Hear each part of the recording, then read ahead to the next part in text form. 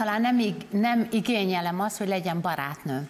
Ugyanis Tényleg? a, így van, nekem nincs szükségem barátnőre, van két menyem, ott van a sógornő, ott van a testvérem, a hugom. Egy, Van annyi lány, hogy- Ez annyian minden vagyunk. roma családban így van. Hát A mi nem családunkban. tudom. A mi családunkban így jó. így van. Na most nekem nincs barátnőm, tudod, miért nincs? Azért nincs, mert, mert a barátnő az, aki mindent tud a, mondjuk, mondjuk, ha nekem lenne egy barátnőm, akkor ő mindent tudna az én életemről. És hogyha bármi kis konfliktus történne a barátnők között, nő. ő lenne az első, aki elárulna engem. De hát ott De a várj, barát- de hát ez a veszély Gusztit nem fenyegeti? Hogy a barátja mindent tud róla, és elárul a barátod?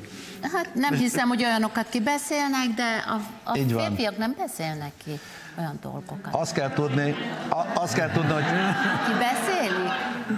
Akkor nem tudom. Margokka drága, azt kell tudni, hogy azért nálunk elég nagy a család, szóval vannak lányok a, a családban, 20-30 szóval ezek, a, ezek azok a lányok, akiket nevezük el barátnőnek, a menye a barátnője, meg ezek.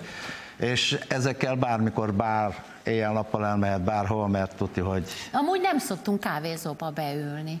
Nem? Nem, em- vásárolni járunk, együtt főzünk, együtt gyúrjuk a tésztát esetleg, vagy kitalálunk valami jó sütit, azt megsüssük nekünk, ez a De kikapcsolódás. közös program nincs is a férfiak és a De, nők? hogy ne lenne. Hát együtt? szoktak, dehogy nem. Most is, most is voltunk egy, egy baráti összejövetelen. Tehát simán van közös program a férfiaknak és a nőknek.